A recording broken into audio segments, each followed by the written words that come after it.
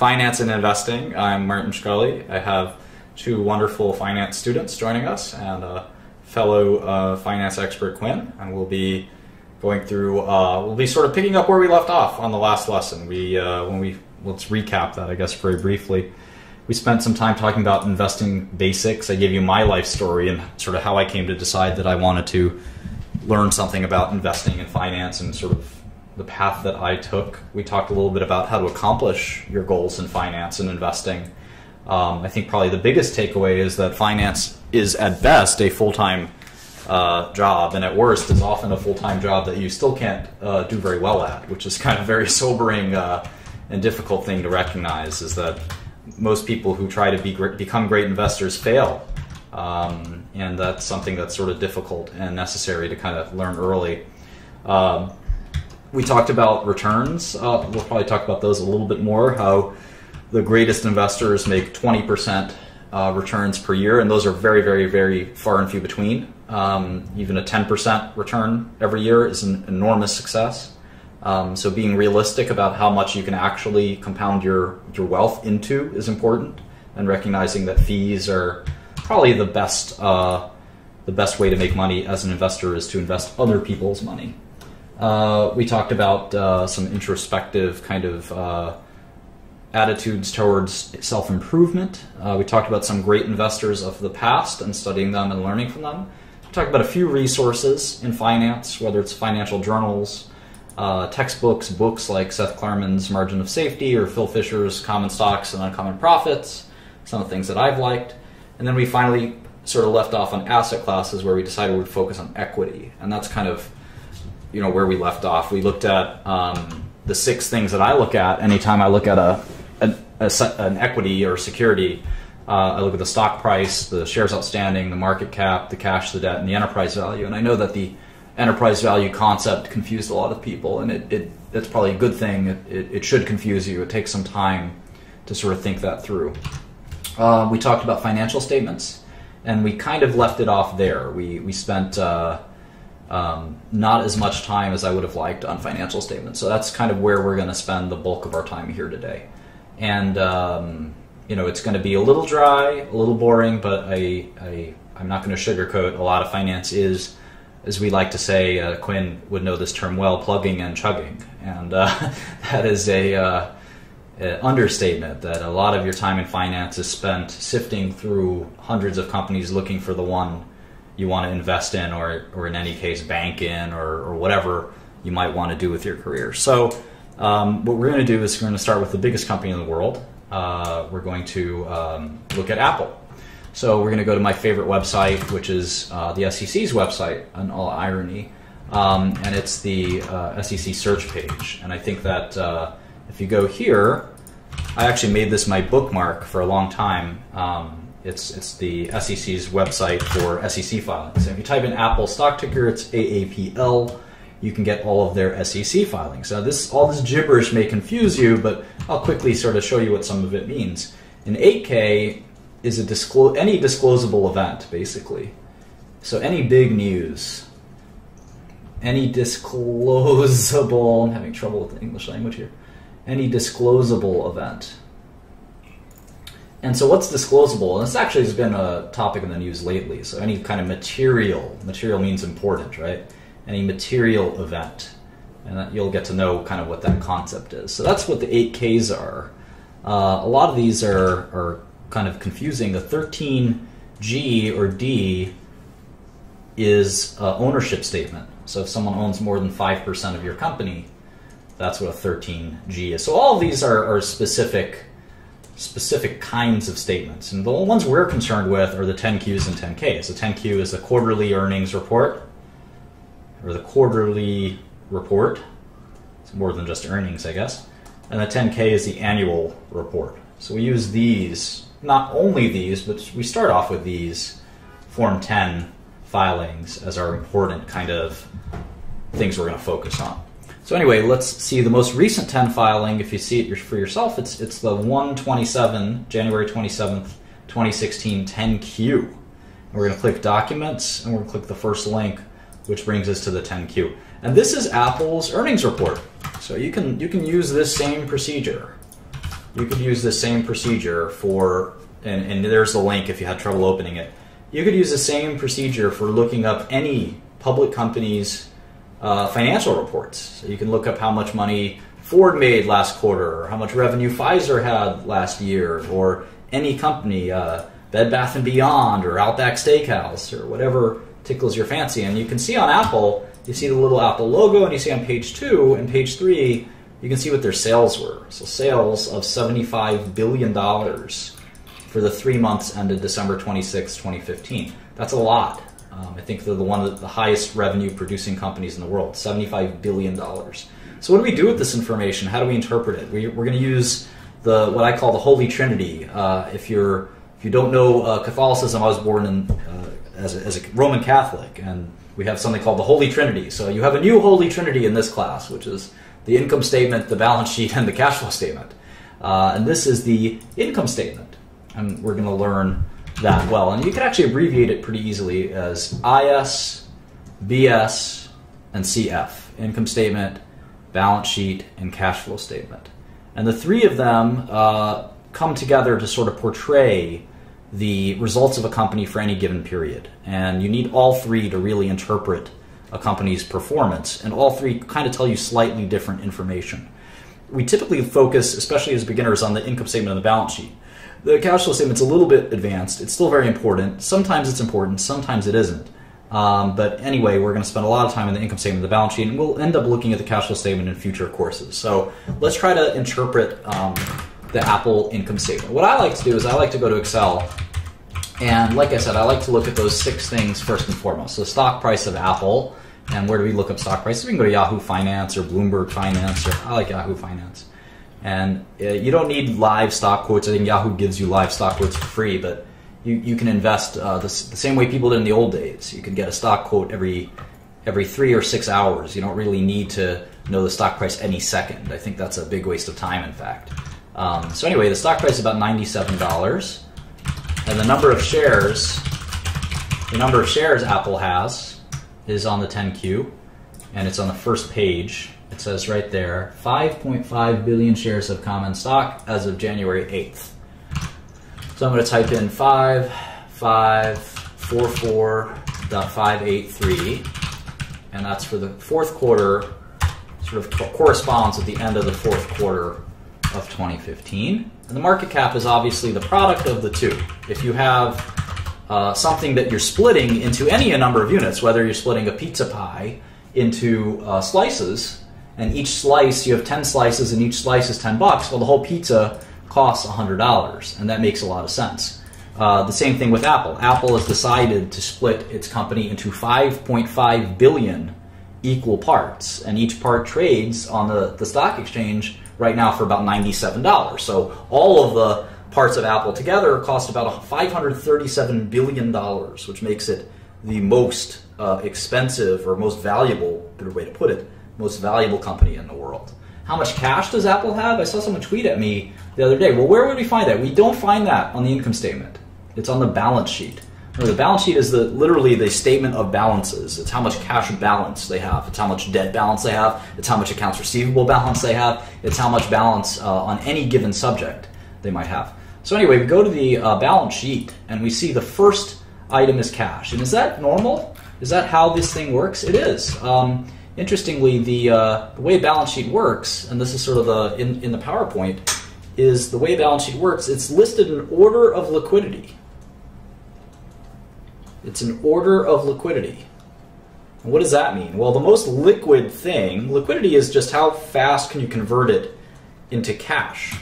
And cash is the most liquid thing. You can use cash to buy something. You can't use uh, a house to buy something. You might have a $5 million house, but you can't buy groceries with it. The grocer will look at you and say, I don't want your house. I want $15 for these beers you're trying to have, Mr. Shkreli. I hate when that happens. But the, uh, the, um, the liquidity is, is just conversion to cash. So cash comes first. And um, the next most liquid thing to cash is marketable securities that are cash like. So things like treasury bonds, even some stocks and things like that are marketable securities. So if you had, let's say, a balance sheet of $5,000 of cash, $3,000 of marketable securities, well, what's next? Accounts receivable is next. So this is money that people owe you. owe your company for product that you've sold to them. So uh, this is stuff like if, if Apple, who presumably they ship their computers or their devices to a company, let's say like AT&T, and they say, here's 15,000 iPhones, pay us within 30 days. And you may not realize as a beginner or someone who hasn't been in the business world that that's how business is done. Uh, you might think that's crazy because you could you can't go to the Gap and say, well, I'll just take these 30 sweaters and I'll just pay you when I'll pay you when I can. Uh, that's not the way that it works at the Gap, but in real business, that is the way it works. Um, believe it or not, uh, you usually pay within 30 to 60 days in American and most of international business. And that's called, uh, we usually like to say net 30, and there's a discount for paying early, and there's all these accounts receivable terms. But what about, what about sometimes when you have customers who don't pay? And that happens quite a bit. We call that bad debt. And accounts receivable is actually listed as net. So it's net of bad debt. And you have to estimate what you won't collect on, and literally what you have to send to accounts receivable, which is the or collections agency. So anything after 60 days, typically, you, you would discount that in your accounts receivable. So if you this company that I'm this sort of pretend company that I'm making up here, they might actually have two $2,500 of receivables, but because some of that, maybe $500 of that um, is 90 days past due or 60 days past due, you'd start to like write it off of your of your balance sheet. You'd start to say, well, I'm not going to get that money from that customer, and hopefully you don't do business with that customer again. But you you typically or you sue them or something, but you typically have to write off the bad debt expense. Next is inventories. So inventories is pretty complicated, and we'll treat this over several lessons. But inventories is basically goods that you have that you're hoping to sell. And inventories can include all kinds of things like raw materials. Raw materials like if if you're I don't know Apple, you might you might end up buying a lot of glass. You know, then that's a raw material, and you're going to turn that glass into an iPhone. But it's certainly not an iPhone when you buy the glass, and you're buying this raw material and you're converting it into your finished product. So you have raw materials and finished products. So of course Apple has iPhones sitting there on the shelf waiting to be sold. Those are finished products. And then in between they have something called WIP, which we call work in progress. And that's like a half finished iPhone or something like that. So after inventories, we get all into all kinds of crazy other assets. And the most important one we're going to call PP&E, property, plant, and equipment. And this is going to this is going to end up playing a huge role in finance. So just keep this in the back of your hand, uh, back of your mind. Property, plant, equipment is any hard asset. It's any hard asset which has a useful life. Which has a useful life of more than what? Do you guys know, students? No, I'm not sure. Boo! Quinn, No. do you know? The top of my head, it's 12 months. It has to be a useful life of 12 months. So any building, any land, for instance, property, plant, and equipment, any factory, any like if you bought a uh, a machine like a I don't know some kind of uh, if you're an Apple, I guess uh, some kind of widget that makes iPhones, a big uh, a big factory machine that uh, I don't know puts the iPhone together. Uh, that costs you twenty million dollars to make. That's plant. That's literally property, plant, and equipment, and that's a really important part when it comes to accounting, it turns out to be extremely vexing and how we deal with it and tricky and quite important. So any any good that is going to have a, its utility, it will be measured in more than one year. A paperclip doesn't have utility more than a year. A paperclip is you use it when you use it. Um, but even computer software, if you buy a five-year license for computer software, you could actually have uh, a useful life of five years. And the way you account for that expense is very tricky. And it, it turns out there's a lot of accounting uh, questions and, and, even sometimes accounting fraud that occurs when you misaccount for how uh, a useful life of an asset uh, is. So property, plant, equipment are, are very important in business, and we'll, we'll talk all about it. So we have other assets, things like that. And the point is that as we go down on the balance sheet, we of course add this to add this all up to get to total assets. We get a sum here of total assets. But as we go down the balance sheet, it becomes less and less liquid. Cash, extremely liquid. Marketable securities, it's not quite cash. I can't go to the grocery store and say, here's some treasury bonds. Will you sell me a Snickers bar? They would say, well, maybe you should sell your treasury bonds and then you can buy the Snickers bar. You say, but, but I don't know, Miss Cashier. I, this treasury bond is very liquid. You'd still say no, no dice. You have to go sell that treasury bond first. Accounts receivable, well, that's not even money that you have in your hand. At least marketable securities, you've got something. Accounts receivable is a promise from your customers to send you cash. So that's really not liquid. In inventories is not even accounts receivable yet. That's stuff that you hope to sell. And then when you sell it, you hope to collect. So inventories is even less liquid. And PP&E is, is the least liquid of them all, where it's just property, plant, and equipment that you use to make the inventories, which you use to get the accounts receivable, which you use to get the cash. So hopefully it makes sense that this is an order of liquidity. And then finally, we have things like goodwill and intellectual property and intan- we call these intangible assets, you know, like a, your brand. And a lot of this is kind of accounting gobbledygook, but obviously an intangible asset will never actually convert itself to cash, right? Your patents won't actually become cash. They're just patents that protect your, your ability to do business, your brand name, your trademarks, all those things. So anyway, th- that's sort of what the asset side, these are assets. It's the asset side of the balance sheet. Very important. And we can, let's look at... Like legal rights. Yeah, sure. You know, it can be, uh, a lot of it, quite frankly, turns out it ends up being kind of a accounting stuff. Um, in terms of goodwill, it's uh, it's as, as this uh, Sarah Get UB is correctly pointing out here. Goodwill is often it's the entities you've purchased. It's it's a technical accounting rule, uh, and we'll we'll talk about that at some point. Uh, these will be uploaded. This video will be uploaded automatically, so don't worry about that. Um, okay, so let's look at the Apple balance sheet. So we just did our own like mini review of a balance sheet. So let's look at Apple's. All right, so current assets. These are uh, assets that are convertible to cash within one year. Everything other than that is going to take more than a year. So cash and equivalents, 16 billion. Short-term marketable securities, 21 billion. Does anyone not see this? So I'm just going to add this up. Current cash of Apple is 16,689 plus 21,385. That's 38 billion dollars. That's a lot of cash to have burning a hole in your pocket. What's next? How much accounts receivable do they have, guys? 12, 953. 12 billion, 9, 953 million. Yeah, so that's a lot of money that their customers owe them, right? Isn't that kind of crazy? Could you imagine? I get angry when someone owes me 20 bucks. Uh, let alone, you know, my customers owe me $12 billion as of December 26, 2015. Isn't that crazy? And, and the world works that way. It's that's how Apple does business. That's how every company does business. We're just going to ship.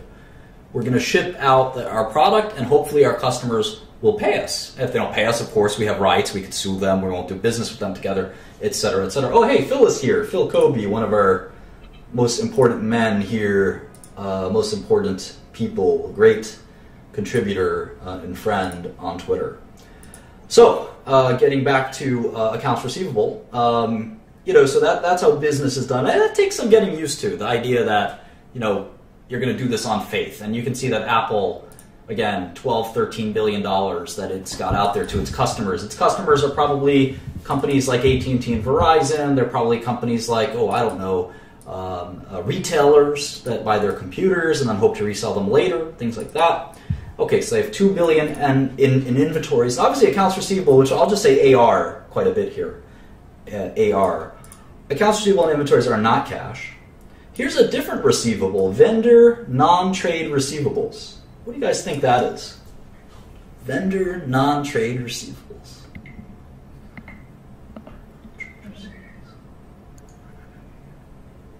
My guess, huh, well, it's certainly money that's owed to them.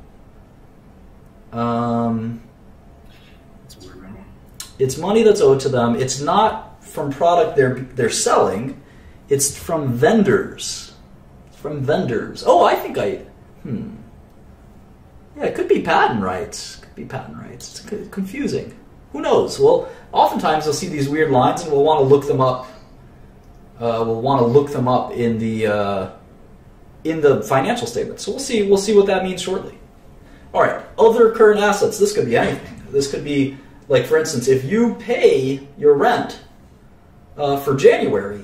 In December, you have to book that as an asset that you've prepaid an expense. If you paid Microsoft for a one year license ahead of time for some software, for Office software, you actually have to put those uh, in uh, your income in your balance sheet as an asset. So other current assets, I'll just call it OCA from time to time.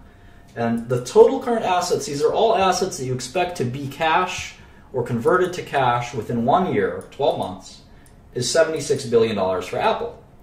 Um, what's next? Long term marketable securities. So this is super interesting. They have $177 billion of this stuff. I'm, I'm going to add it to the cash balance that I'm keeping tally of here as my top six things that I like to look at when I look at any security.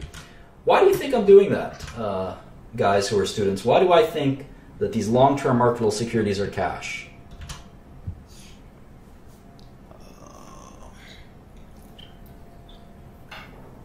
They're liquid, is the assumption.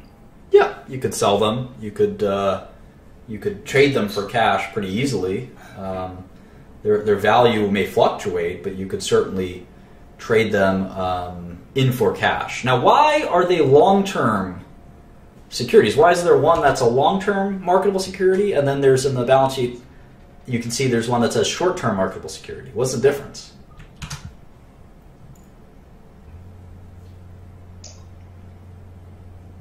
They're like a deadline by which they can pay.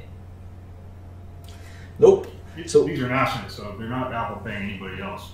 Yeah, the- these are yeah these are stocks or bonds that they own. So typically it's their bonds. Uh, most most corporations don't want to hold stocks right on their balance sheet. You know they're not hedge funds, uh, including Apple. Um, they like to own bonds. Bonds are safer typically than stocks, and so the reason that the way bonds work is there's a maturity date.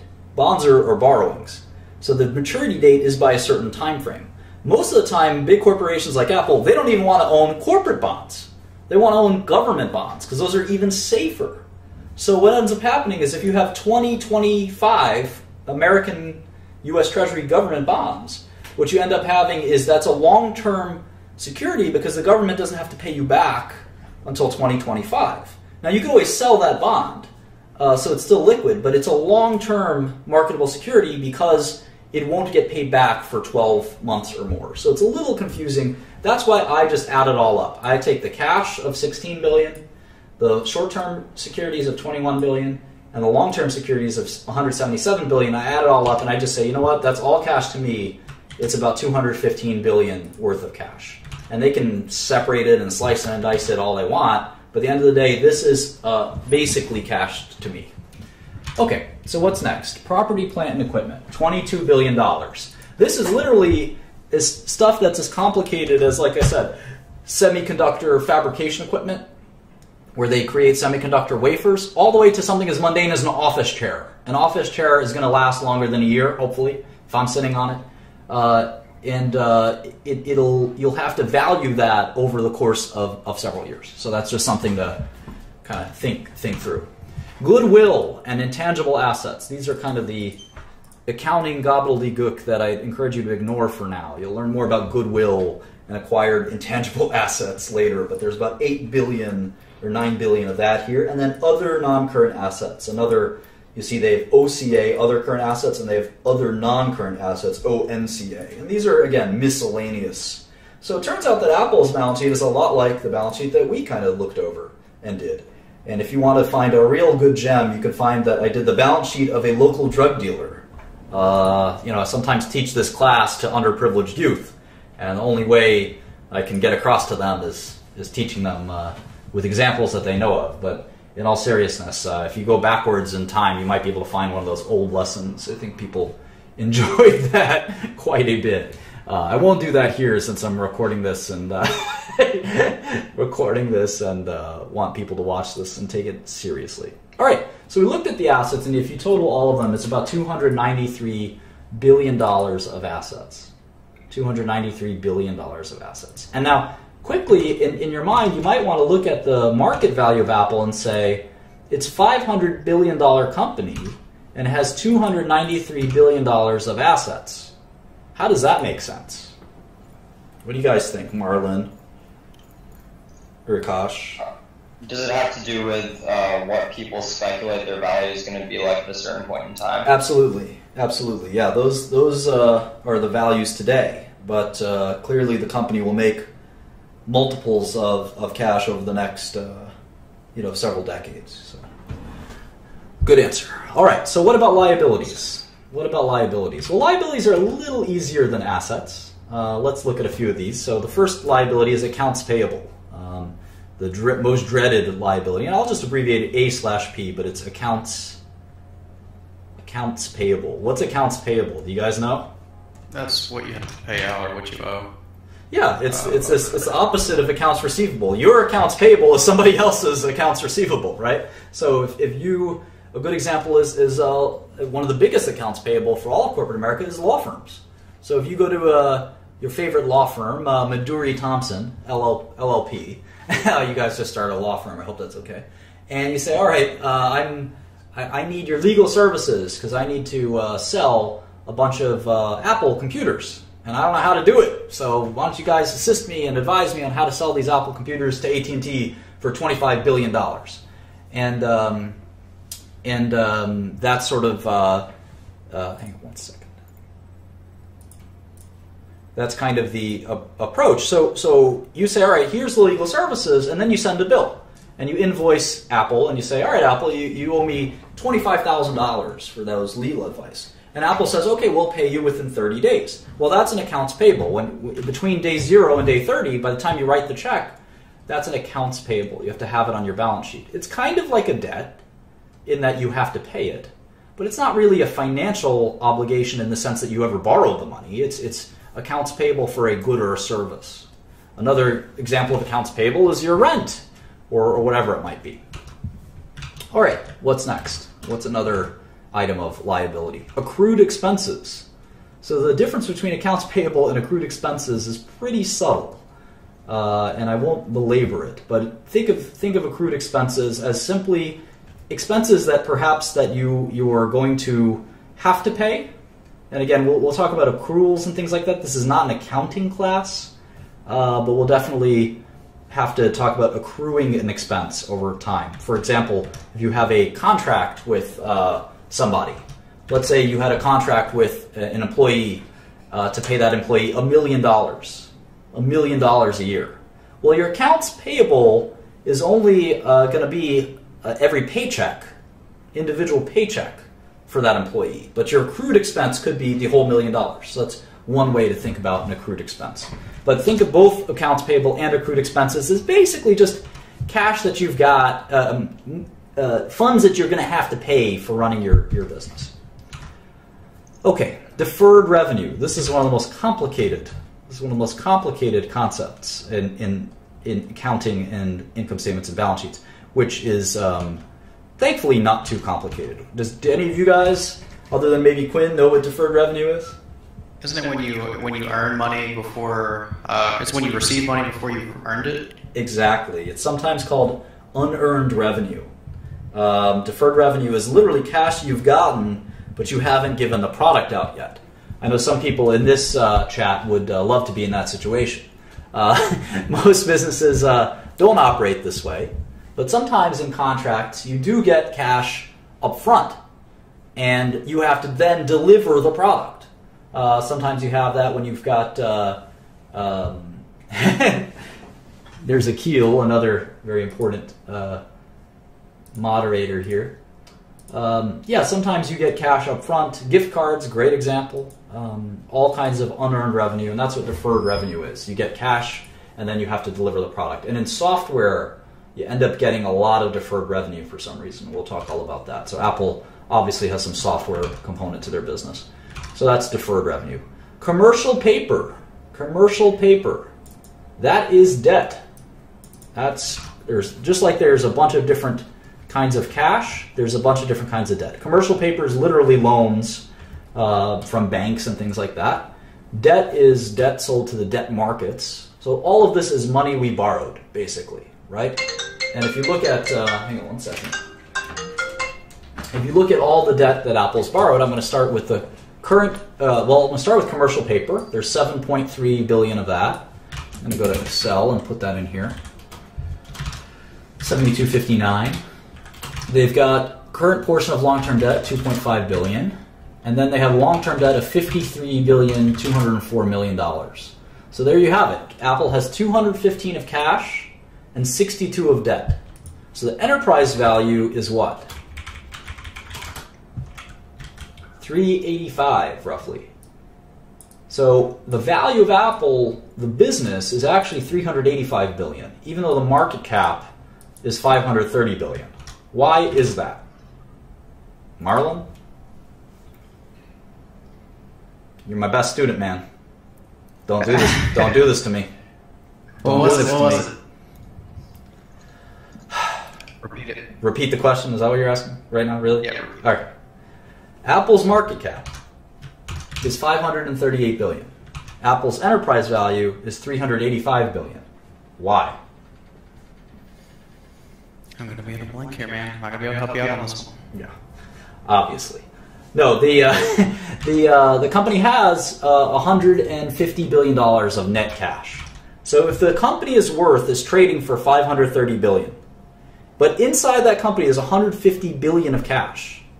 When you're paying 580 billion for it, or maybe you're buy, buying a fraction of Apple, which is more likely and reasonable to assume, there every time you buy a share of Apple, you're literally buying for every share you're getting a uh, a small portion of cash, right? You're buying not only the computer company, but you're also buying um, the cash that the computer company has and the debt they have. And the if you subtract the cash from the debt, it's about 150 billion.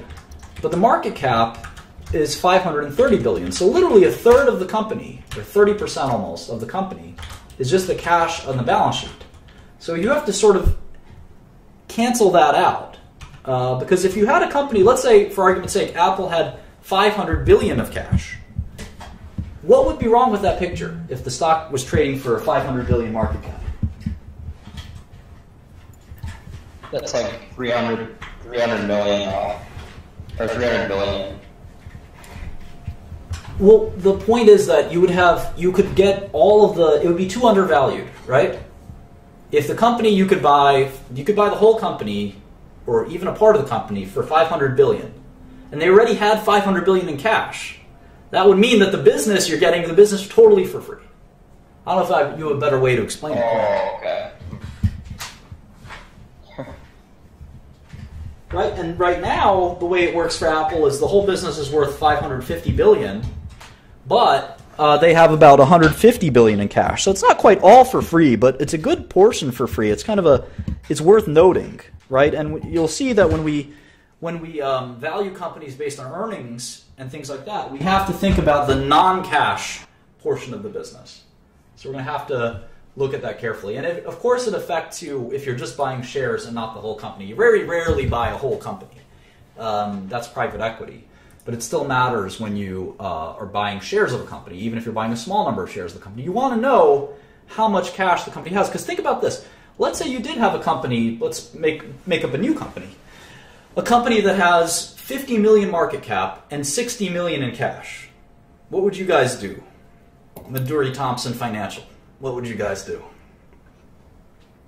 Uh, definitely buy it Why? because it has more cash than its market cap. So you buy it for 50 million, and you get at least 60 million. You make 10 million no matter what, basically. It's basically an arbitrage. Yep, exactly. So Apple's got 500 billion and 150 billion in cash. So it's not free, but it's about a third off if you think of it that way. And we'll, we'll look at this in more and more detail later. okay, so let's look at Apple some more. All right, so the income statement, I'm sorry, the balance sheet uh, has total liabilities of 165 billion. So compared to assets, assets are about 300 billion, liabilities about 160 billion, so shareholders' equity is 130 billion. Does anyone know what another name for shareholders' equity is?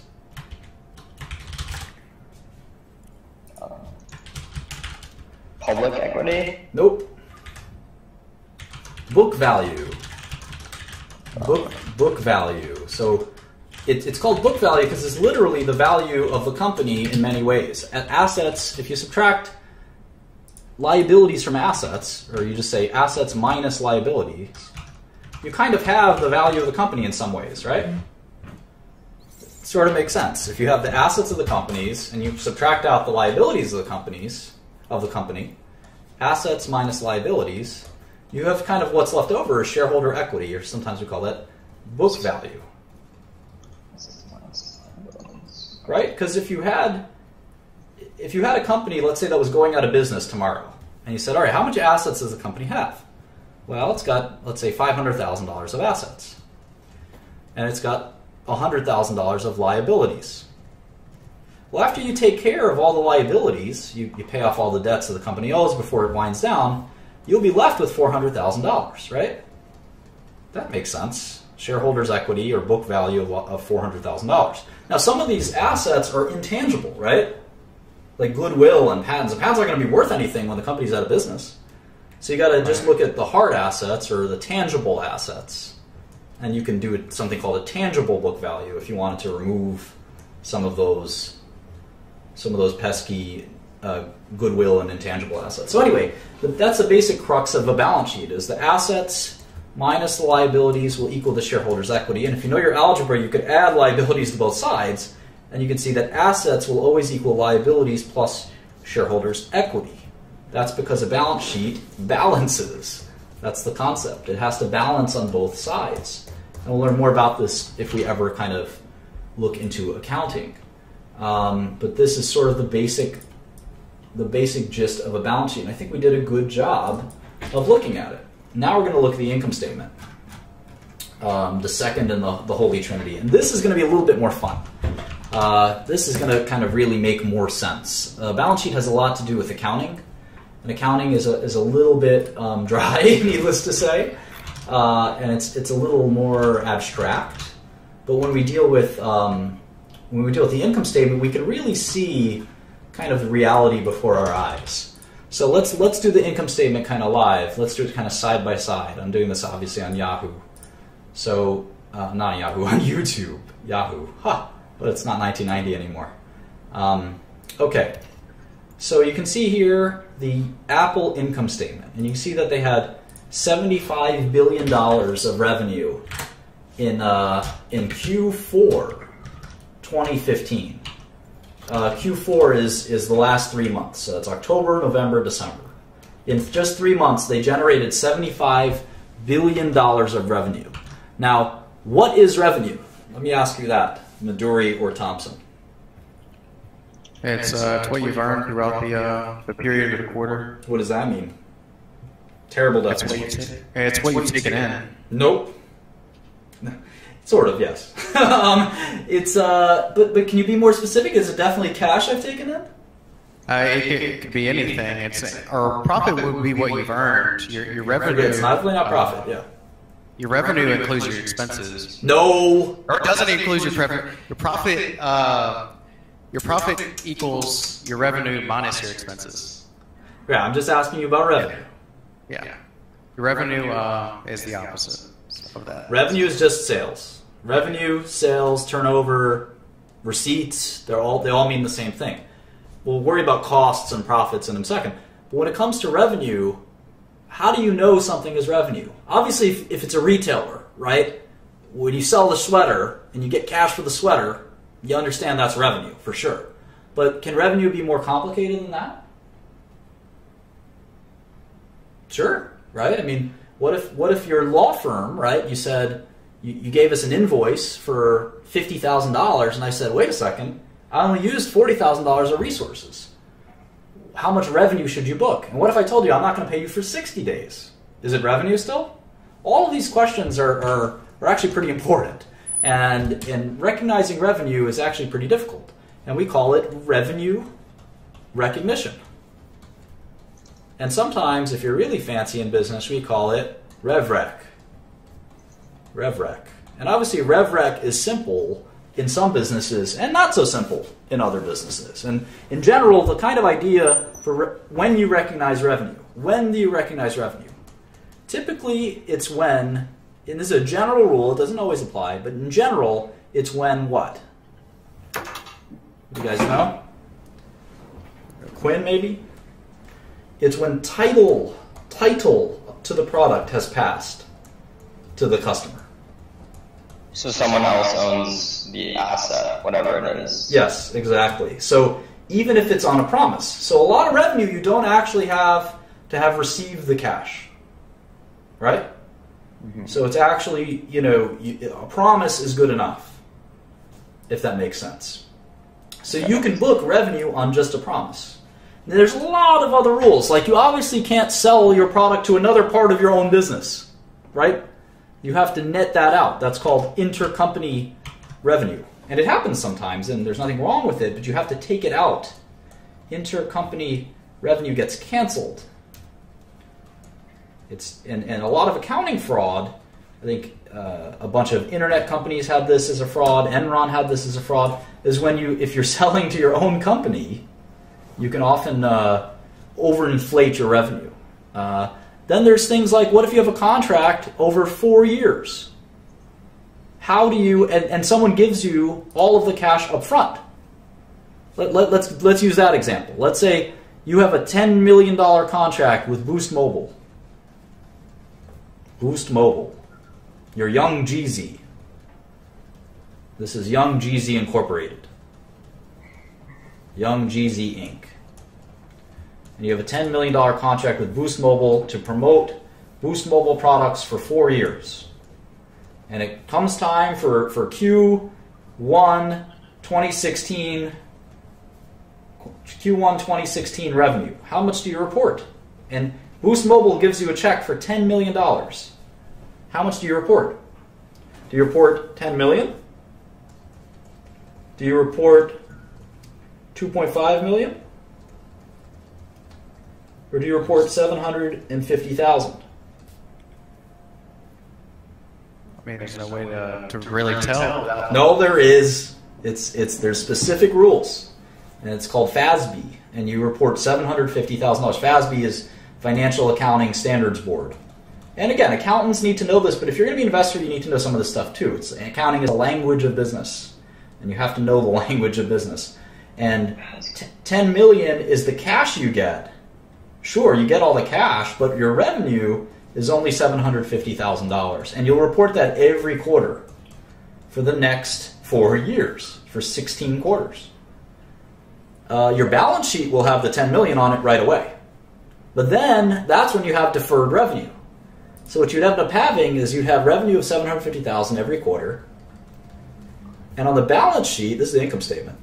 On the balance sheet, you would have deferred revenue of, of $9,250,000 because you still have to col- you, you've collected the 10 million, your cash will be 10 million but you haven't performed $9.25 million of services. Because you can bet that if Young Jeezy stops rapping about Boost Mobile one quarter into his four quarter deal, Boost Mobile will sue him. So he's got to carry that deferred revenue and write it off every quarter for the next for the next uh, 16 quarters or 15 quarters. So anyway, that's how sort of revenue recognition can be pretty tricky. Obviously, you know, if if if uh, Apple sells 10 million, $10 billion of iPhones to AT&T, it's relatively simple, but believe it or not, it can still be complicated. For instance, returns. What about returns? Return policy is a huge part of revenue recognition. Um, oftentimes, companies like Apple will have a return policy. So they'll say, you know what, AT&T, if you return us any of your phones, we'll give you your money back for the phones uh, that you return. And some companies have no return policy. Um, you know, it really depends on your company. But a return policy is somewhat common, and you have to reserve revenue for return policies and all kinds of things like that. So anyway, there's a lot of complexity to, to revenue recognition. It may seem really simple, but sales are not as simple. All right, so next we have something called COGS, or cost of goods sold. What's a cost Mark, of... I'm going to take off. Thanks All right. a lot. Yeah, thank you. Hopefully someone can bring in... Uh, thanks, Gun. Someone can bring in another financial expert up in here. so COGS, C-O-G-S, cost of good sold. Cost of goods sold. the, Go ahead, Marlon. that'd be the value of the, the goods sold. Nope. Uh, period. Nope. Nope, nope, nope. Cost of goods sold is the cost to make the revenue. So it's literally cost of revenue. So if they sold $75 billion, right, of phones and iTunes and all these things, it cost them $45 billion to make that stuff. So they have a margin left over, and that's called the gross margin. Gross margin. And you can see, I'm not going to type in, if you, if you look at this closely, I'm not going to type in uh, 30423. I'm actually just going to subtract cell F3 and cell F4. So subtract cell F4 from F3, and I get 30 billion 423 because that is the gross margin. So they sold 76 billion dollars of products in Q4. That means they might have gotten cash for some of that. They might have not gotten cash for some of that, but they they pushed out 75 billion dollars of their products to the world, whether or not they got paid right away or didn't get paid right away. And it cost them 45 billion dollars to make that stuff. So it costs them money to buy the glass and the equipment, all the stuff that goes into one of these things. Um, and you can see that they made, if you think about it, they made about half. They made about 50%. For every dollar they sold, it cost them about 50 cents to, uh, to produce those goods. So if we actually just do this, we can do gross profit or gross margin percentage. We'll call this gross profit, and we can we can do the formula. Does anyone know what the formula is? Uh, it's your total sales, uh, the revenue minus your COGS. Nope. Is your, uh, So that's what gross profit is. As a percentage, gross profit divided by revenue is 40%. And we got a great question from Dan Van Glan. Does it include labor? Yes, it does. Yes, it does. According to GAAP, generally accepted, accepted accounting principles, which are promulgated by FASB, the Financial Accounting uh, and Standards Board, uh, any cost of the product, whether it's um, uh, um, the, the, the raw materials, even the plant, operating the plant, the person that works at the plant that maybe um, is the plant manager but doesn't actually make any of the goods, that's still a cost of goods sold uh, usually. So what where where the costs go into what bucket is sometimes unclear. Obviously, uh, the cost of all the equipment and things like that will go into the cogs, and we're going to worry about depreciation and things like that later. Those will be very complicated. So what we end up with is they sold $75 billion of goods, and we're going to keep chipping away at that until we get a profit line at the end.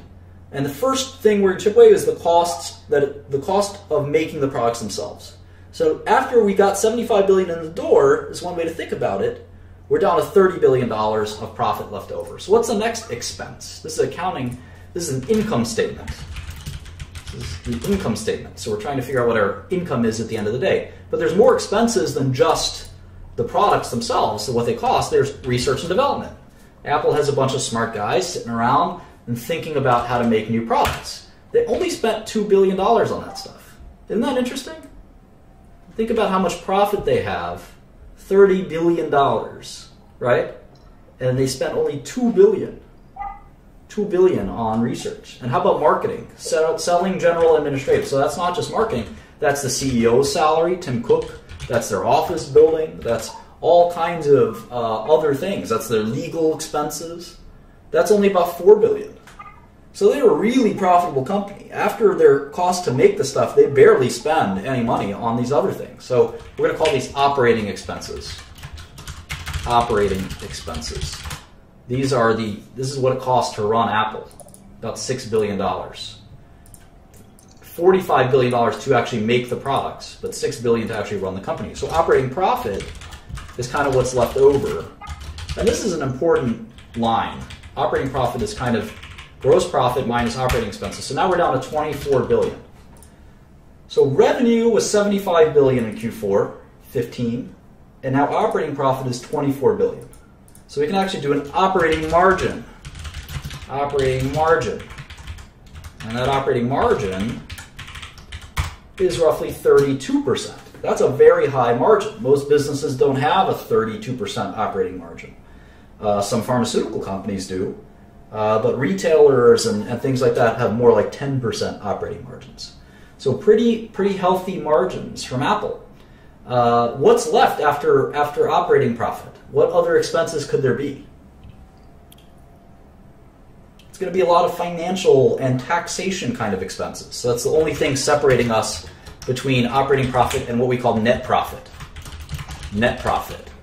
So taxes is a huge part of that. Uh, and interest, interest on all that cash they've got, right? They have 400. They get 402 million dollars of just interest. So we call that pre-tax income, and then there's finally taxes, which are what they what you think they might be. And again, taxes aren't necessarily cash they've spent. That's just cash that they're going to spend often. And what we're left with is $18 billion. So we can calculate again a net margin percentage. 18 billion left over after 75 billion of revenue. So 24 cents. Every every dollar that Apple gets from you, they keep 24 cents. Isn't that interesting? We can also calculate a tax rate. What does Apple pay in taxes? Well, they they're making 24 billion before taxes. They, they spent 6 billion on taxes, so 6 divided by 24 is 25%. How about that? Apple pays double or triple the tax, or we, we all pay double or triple the tax that Apple pays, even though Apple is uh, a corporation. So that's what a lot of people don't like about corporate America. 25% tax rate, that's pretty low. And then we can think about it on a per share basis. So we, what's the income per share or earnings per share, EPS? Well, we have to write down how many shares there are. Let's do this. There are 5,594,127 shares. So let's see. So the earnings per share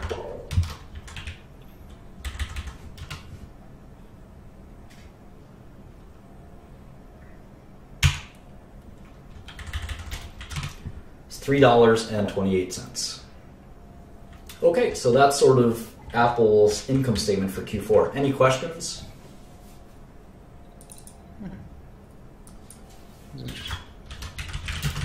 I'll teach you some quick Excel tricks. What we can do, keep in mind the income statement is giving us, um, and if you see any questions from, from people in the chat, you know, feel free to just repeat them if you don't have your own question. But in Q4, you can see they did they gave you they gave you this year's quarter and then last year's quarter. So what we can do is we can actually take all of this, copy it, and paste it, and the formulas all come over. So what we can do is we can just quickly type in all the numbers from last year, and the formulas are all there, so everything automatically updates. So it's super fast to just quickly update all of it, because it's all the same format. And we can see that the final number is the same, 18024, 18024.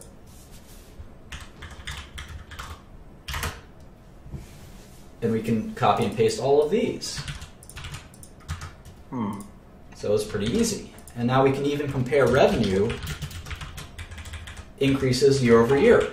And this is a big problem for Apple. If you look at Q4 of 2015 divided by Q4 of 2014, revenue only increased by 2%. And the way you can figure that out is the simple quotient of new divided by old. New divided by old minus 1 expressed as a percentage will give you a change from new uh, in, in new from old. So you can see Apple's revenue isn't growing anymore. And I wonder why that is. It could be because they haven't released a new product. It could be because they're just slowing down in general. Who knows? But it's definitely a worrisome trend, and we'd have to ask Apple why that's happening. Maybe people already talking about it. But that's how an income statement looks for Apple. We can also uh, we can also type in the balance sheet very quickly if we wanted. So we're going to have to pay attention to that as well. So we did cash. So just do this super fast one more time. And I'm happy to take questions as they come up. So I guess like if you're looking at companies that you might be interested in investing in, are you trying to look at the um, the growth in their revenue uh, quarter by quarter? Sure. But you know, we haven't yet, you know, come even close to making any decisions on anything. You know, that that we probably won't even touch that until lesson four, five, six, seven. You know, it takes a Okay. long time. We're just trying to understand how to even read these things, you know, and what, how to sort of order them and format them into a way that we can use, right? Uh, we can use to make decisions later. You know, we're not even close we're not even close to uh, to being being able to use this information in a way that's useful yet. You know, but it's good for beginners, especially, to say, all right, this is this is the way Apple works. You know, it's it's, it's very important to know kind of what uh, you know what exactly is this company's profile? What's their margin profile, for instance? Do they are they kind of company that loses money? Are they kind of company that makes money? Are they kind of company that makes a lot of money? What's the relative amounts, especially as we compare them to other companies like IBM or Hewlett Packard or other computer makers?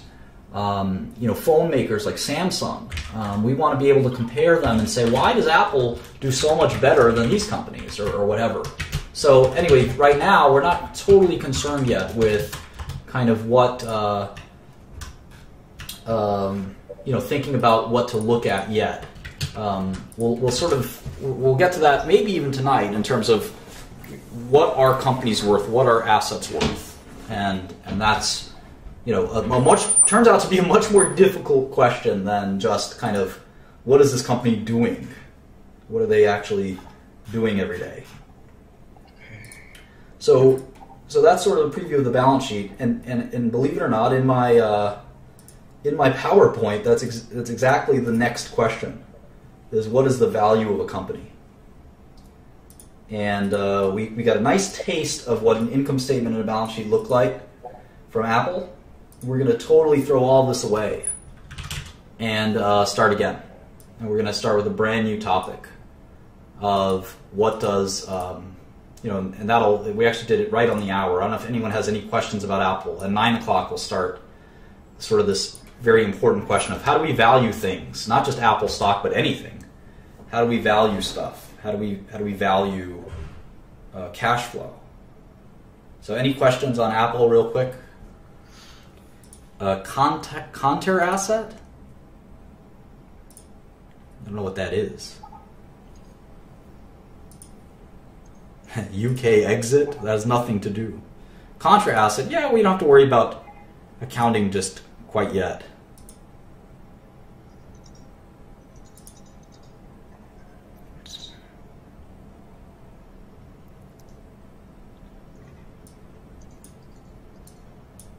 Uh, Martin, so you were talking about like the GAP or GAAP. Is that where you can find all of like the because there are like a lot of different terms on these uh, like uh, the fin- the financial statements that I don't really know too much about. Is there any good resource for like just reviewing those terms? I think just like, practice makes perfect. You know, they're, they're all like self-evidentary. Um, you know, like vendor receivables, receivables from vendors, right? It's money your vendors owe you. I don't know why your vendor would owe you money. Usually, you owe your vendor money, not the other way around. Investopedia, I guess, you know, but I just think you know, reading dozens and dozens of these, you will, you will get there. You know, it's uh, Okay. it's it's not that you don't need uh, too much uh, too much uh, information about this stuff. It was Anyone else? definitely helpful so far.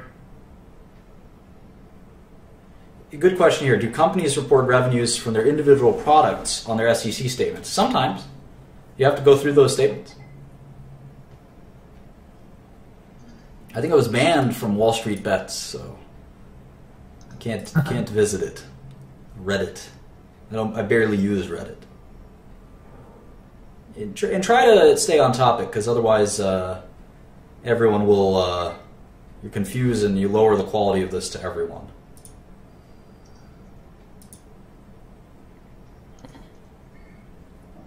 Companies are not obligated to pay dividends to their shareholders typically.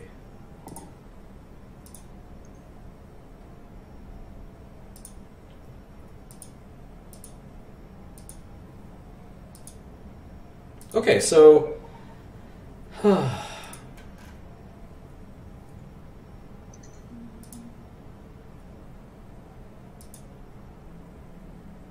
Okay, so let's talk about um, is the SEC site accurate? Yes, companies have to, under penalty of of, of arrest, uh, they can be accused of fraud. SEC statements have to be accurate, and there's actually a bunch of people sitting in prison cells right now over misstatements in in accounting. Uh, uh, Enron is a good example. Uh, WorldCom, uh, Computer Associates, etc. So they definitely Tyco is another good one. So they definitely have to uh, have to do that correctly. Okay. Oh hey, there's uh, our buddy Charlie. You're perfect. I'm gonna have to back out. Okay, great. Charlie's just in time. Nine o'clock here. Hey, What's going on? you're just in time. We're about to go into. As soon as I logged on, I heard SEC investigation, and I was immediately intrigued. I thought you might be talking about Valeant, not all this. no, I didn't. I think we said just SEC filings, but uh, Gotcha. What's up?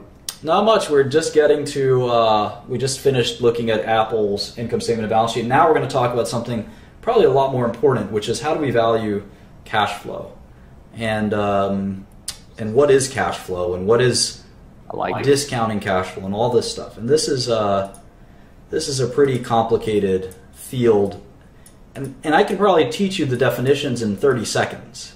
But the the point of this is to understand it like the back of your hand, not to be able to recite a definition. So, is anyone before? Are you looking at some slides right now? Yeah, there's a there's a website. Um, I'll give you the link. Can you maybe post this real quick? Uh, it's a YouTube. It's my YouTube live stream link. Um, Got it. Oh yeah, I know that. So we just need one more person to join. I know there's a bunch of people. What's going on? Hi. Are you a finance student or finance expert? Bullish? Okay. Blue bullish. Thanks for joining, dude. Oh, oh fuck yeah! All right, got the slides up. Okay, good. Yo. Hi. You kind of look like kind of look like a bum, and your your, your background's echoing a little too much. So we're just, uh, we're just gonna do this with us three. By the way, yesterday, total stage fright. Did not realize there were going to be that many viewers. That's right. All right, so let's talk about cash and, and what it's worth. And this is again, this is the core of finance. Uh, this is going to be. I want everyone to pay close attention. What we did with Apple, it's more technical, you know, more kind of uh, detailed. This is much more theoretical, and this is going to be a lot of fun if I do this right, and it's going to confuse you and give you much pain if I do it wrong. So this is going to be really important. We'll just lock the, the room so we don't get any distractions.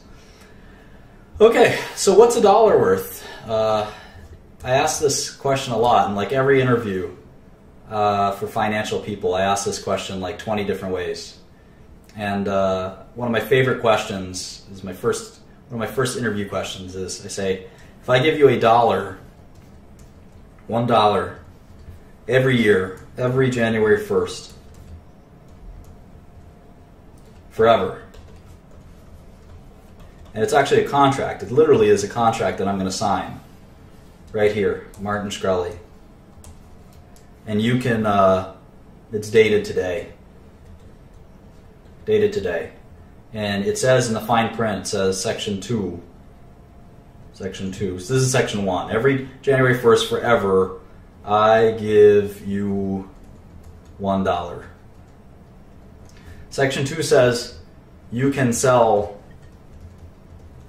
and transfer this contract. Okay, so I give this contract to, to you, Mr. Maduri.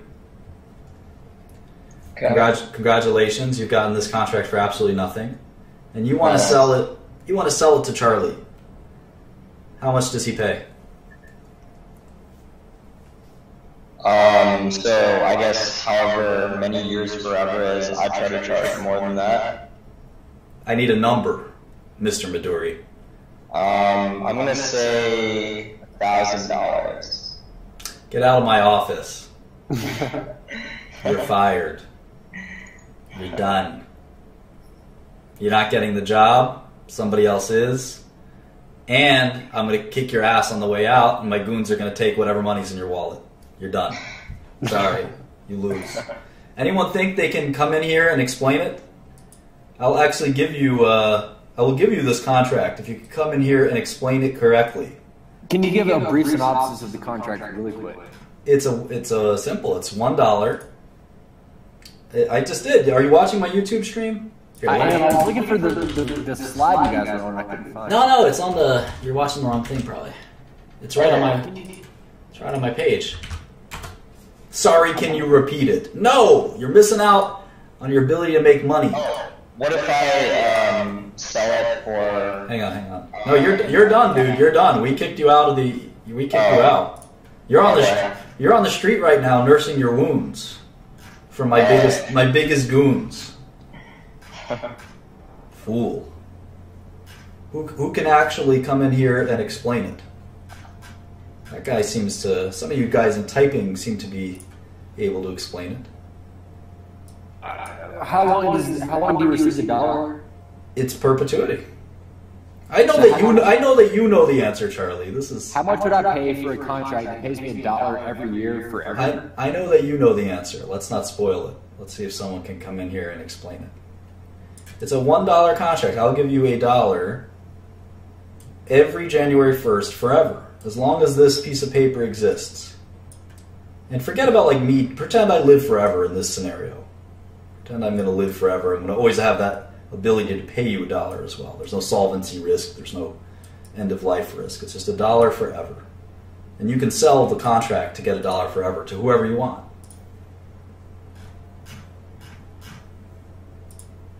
This is this turns out that this closer. this is actually a very very tough question to answer, and you'd be surprised. I've interviewed probably thousand people in the last few years. You'd be shocked at the freaking answers I've gotten for this question. A thousand, a I was gonna say, thousand we is heard a thousand. we heard a thousand from Mr. Midori. Let's see what other people have to say. Come on in. Oh, I'd, I'd like to see rapid fire, kind of who. And, and I'm just going to you out real quick, Midori. See if we can get, see if we can get people to come in here and explain your answer.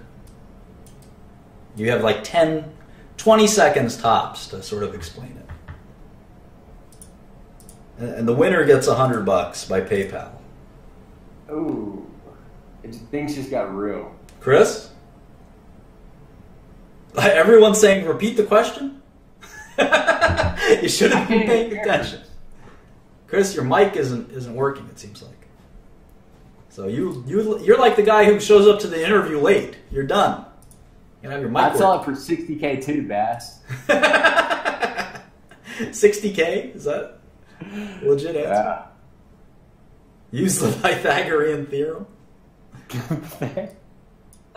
Winner's circle, you got this. J Rock? I wouldn't sell it. That's my answer. Winner circle, that's your answer?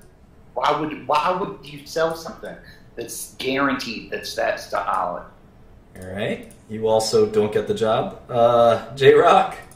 He's thinking outside the box. It was No, I'm, I'm getting. I'm, I'm putting his answer down as question mark, question mark, question mark. Too confused.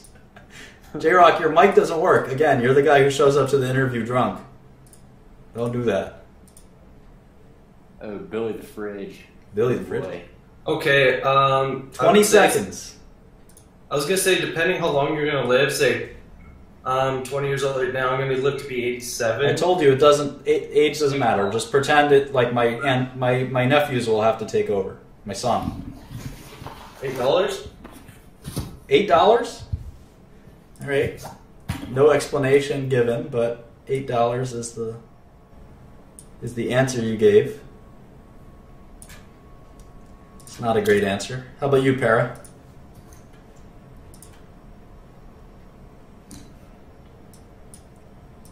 It's amazing. The average American does not understand finance.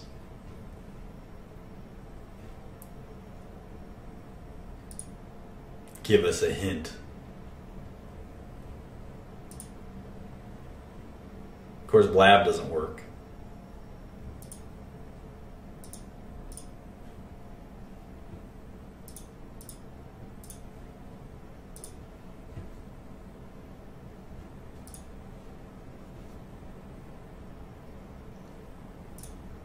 Thank you, Sandra. I think we're back. Okay, Sandra, you have an answer? Yeah. Um. Sorry, I lied out for a bit. But my answer is that uh, present value of a dollar is if you had a dollar now versus a dollar next year, you could use it in out in the market and you can maybe earn interest on it or make an investment. So you kind of pick a common um, or what looks to be a trending interest rate. Use the present value table. Um, when you once you get into perpetuity of the present value of dollar, it stops really mattering how many years. So when people are talking about ages, that's why it kind of doesn't really matter. So you'd rather have a dollar now versus later, so you'd rather sell it, I'd say around thirteen and a half and a half dollars. 13 and a half. Wow. Bam! What an answer. What a babe. What a goddess. What a genius. Congratulations. You are Thank you. She insanely came in on a mission. smarter than everyone. Charlie, do you accept? You're buying it for 1350? What are you doing? I doing? accept it. I accept it. I All right, you're done. 1350. Trade's done. Congratulations. Thank you. Of course, it's probably worth about 50 bucks in my opinion, but I was gonna say like I guess like you know actual value depends on who's buying yeah, it's a tricky question. All right, so we got one we got one smart person up in here. Hey, that was a great question, Martin. I I love it. I, I've got I've got a hundred variations of this that I ask finance people who want to work for me, who want to invest my money or help me invest, and um, it's pretty complicated. Uh, well, it's all about, and I will explain why fifty dollars. I will I will explain in tremendous detail. We'll spend the next. If I if I do my job right here, I'll excite you so much about this that we'll, you'll spend the rest of your life trying to think about what cash flow is worth uh, your cash flow, a business's cash flow, a septic tank pumping company's cash flow, an electricity company's cash flow, a drug company's cash flow, any anything. Um, and so this is just one small example of how do we value future cash flow. So we know how to value today's cash flow. If, if I said I'm going to give you five dollars in five minutes, and I say, well, what would you sell that what would you sell that contract for? Well, it's going to be about five dollars. I mean, depending on the uncertainty, it could be four dollars and ninety nine ninety nine cents. There's actually people that do this. It's called overnight repos. If you want to look into that, there's actually a market for this kind of paper. It's actually re- repurchases as repos, and there's actually a marketplace for that kind of that kind of transaction where it's literally the interest of a dollar, uh, the interest of, of something literally from the night to the morning as a, as a repo. And there's things like called carry trades where you're carrying a trade for just an, just a short period of time and you're earning an infinitesimally small amount of interest.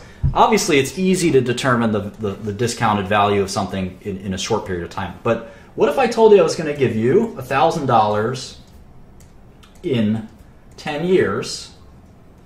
Or I can give you $100 a year for uh, nine years. Which one's better? Uh, so I'd prefer to start receiving the money now. Well, you know, this isn't uh, as you can as you can imagine. This isn't a guessing game. This is not. This is something we can actually calculate to extreme precision. To extreme precision. Okay. Uh, with- So, like, are you going to use like a seven percent return on the hundred dollars? we could use any return we want and that's the great thing about it is it's it's uh, we could we could say well what if we don't make a return? What if we do make money with the hundred dollars a year? What if we et cetera et cetera? What if there's inflation? What if there's deflation? All these things we can actually get an exact answer. And that's what finance is all about. This is literally the the discipline known as finance. Let's let's get down to it. Yeah. Let's, let's explain this a thousand dollar or a hundred dollars Cool. a year. Okay, so the concept that uh, our guest, um, who was quite good and quite eloquent, eloquent, pointed out is that one dollar today is worth more than usually worth more than one dollar tomorrow. Not just usually, almost always. Hell has to freeze over for one dollar to be worth less today than tomorrow. Why? why? And the answer to the to the thousand dollar question and the answer to the one dollar question all lies in this concept. It all lies in this kind of concept. Why? One, someone said inflation. Okay, I guess that's true. I guess that's true. We could talk more about inflation. The better answer is Akil's. It's opportunity cost. Oppor- or just just say opportunity or investment potential. Same way molecules have potential energy. If you had a dollar today, let's say that's let's say it's Monday. Uh, let's say it's Monday, January 1st, 2016, and you had $1,000 versus Monday, January 1st, 2019, and you have $1,000, which, which is the better place to be if you're an investor? Well, you'd much rather be in 2016 because you can invest that $1,000. And let's say you make a 10% return per year. Well, in 2017, you would have $1,100. In 2018, how much would you have? $1,210, right? And in 2019, how much would you have? Gosh, my math is terrible. One thousand three hundred forty-one, or Yeah, something like that. I think that's right. Um, so um, you would actually have one thousand three hundred thirty-one dollars in 2019 versus thousand dollars in 2019. So the ability to invest the money and earn a return is why a dollar today is worth more than a dollar tomorrow. But how much more? And and why is why would we pick 10% here? Why not 20% or 3% or 1%? I mean, it depends on the kind of return you get. And what about negative percentages? There's such there's a such thing as possibility. there's a such thing as deflation, right? So we have to think about all of those things. And and this is what finance is all about. We toss and turn about this. We toss and turn about all this stuff. What about risk? What a fantastic point. Danny Argueta, you are a special person. That is the most important thing, in fact, is risk. And we'll talk about that soon. Risk. So we got inflation, opportunity, which is risk. It's not a third thing. Opportunity and risk are the same thing. And we'll talk about that in a, in a minute as well. So this is really a theoretical, it's kind of a very theoretical part of finance, and I love it because it very, is almost philosophical even. It's almost philosophical. And what's so philosophical and theoretical about it? Well, we know that a dollar today is worth more than a dollar tomorrow, but Apple, Apple has that exact issue. In fact, every stock we're ever going to look at, the concept is a dollar today and a dollar tomorrow are something to think about. So if Apple makes $18 billion a quarter, that means they make what? $70 billion a year? And if they make $70 billion a year, we can actually discount that and add it up. And we'll talk about that in a second. But keep the Apple example in mind. All right, so now we have the question of how much is a dollar, how much less or more is a dollar worth today than tomorrow? Okay. So, like I said, if I told you I was going to give you $5 today, or this year, and I was going to give you $5 next year,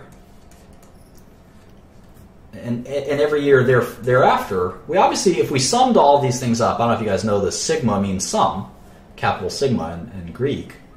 If we summed all of these, all of these, from, from beginning of 2016 to infinity, what would the answer be? it would be infinity. Yeah, it would actually be infinity because we'd have an infinite number of years. And obviously, the right to buy, the right to get $5 a year forever is not worth infinity. It is not worth infinity. It is worth less than infinity for sure. So, why? Why? Well, let's go year by year.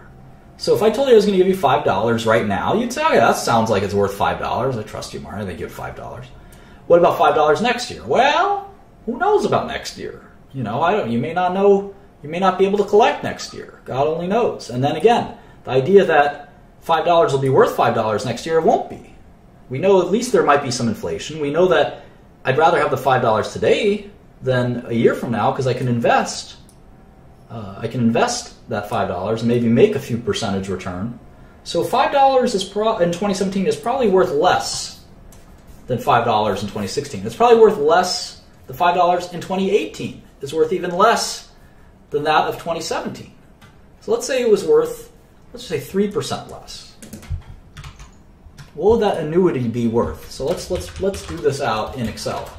And Excel is great because you can you can just simply do it the way uh, you see me doing it here. So five dollars, and we're going to take uh, five dollars times 0.97, 0.97, which is three percent less than before. And we're going to copy and paste all the way down, and you can see that as we get less and less, we approach a value of what? Each year, the value of that five dollars approaches zero. It's like an asymptote in, in, in calculus, right? And in fact, we can kind of graph, We can even graph what the, that, the five dollars per annum. Remember, the face value is five dollars every year. It's always going to be five dollars. In twenty-two, uh. in year twenty-two fifty, you will get five dollars.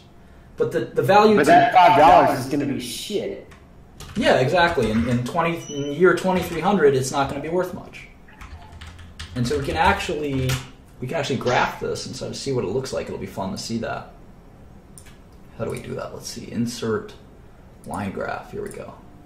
Yeah, here you can see the value of five dollars. It, it sort of reaches this asymptote of zero. In math, an asymptote is a line that approaches another number, another line, but never quite touches it. And you can see that by the time it's like 50 years out, it really isn't, you know, the, the $5 really isn't worth very much. Maybe a dollar. So if we take the sum of this equals sum, and we sum all of these numbers, we get $166. $5 a year forever is about $166 today even though if we sum all the, the cash we're going to get, it was $1,660. This is, let's see how many years this was for. How many years was this contract for? 332 years. Was a 332 year bond where I get $5 every year. I'm going to collect, by the end of the bond, I'm going to collect six, $1,660. But today, the bond would trade for $166. Why? we got to think about this. We got to think about it carefully. What if we only discount by by and let's let's add more years to this. Let's let's go let's go into thousands of years. See what happens if we do that.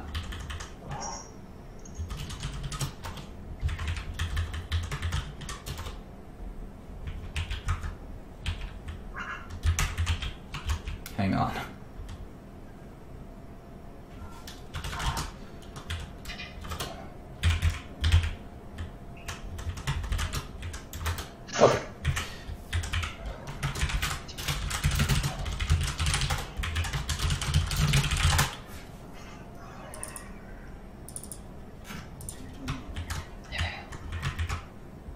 Great. So we're going to call the rate at which we discount the cash flow from one year to the next the discount rate. And we're going to change this formula. I encourage you all to make this Excel sheet yourself. We're going to change this formula to the discount rate. We're going to see what happens when we change the discount rate to 10%. What do you think the value of the bond will, will do? Obviously, the amount we're going to collect will be the same.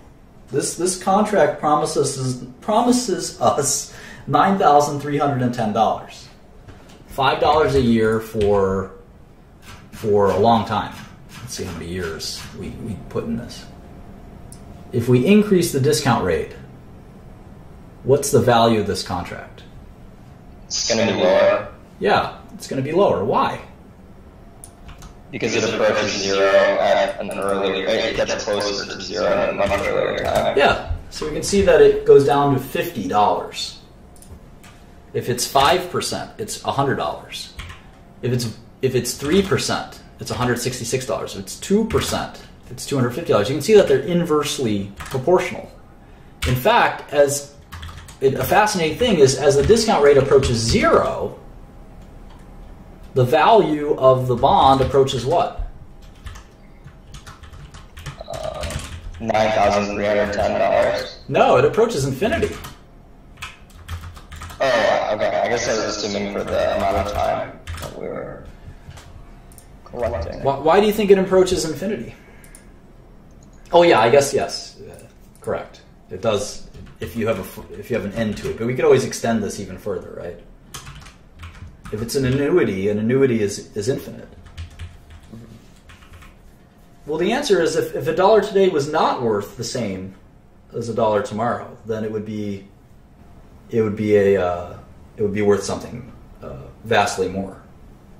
But we assume that, that money is worth less over time because of things like risk and opportunity cost. So we have to think very carefully about how to discount a series of cash flow. And in businesses and bonds and stocks, we have these yearly cash flows we come to expect. In this case, this is very boring. We expect $5 every year, forever. Businesses obviously aren't like this. The cash flow we get fluctuates. We hope it grows, right? We hope that the, the CEO of the company figures out a way to make this go from five to six, from six to seven, from seven to eight, hopefully from eight to 800. You know, uh, if you're a CEO like me, you want as much profit as possible. And, and you, you have to discount, you have to discount that cash flow because something might go wrong in the year 2029. You can't predict what the earnings of your business will be in 2029. Can you imagine the people who were forecasting Motorola? Motorola's earnings 10 years ago, Motorola and Nokia were on the top of the world 10, 20 years ago, right? Motorola. So, so on that note, like, how do you put a number on what you should discount? It's that is the secret of finance. That's the you're literally, you know, touching on the number one question in finance, which is it subjective? a little bit. What is the discount rate?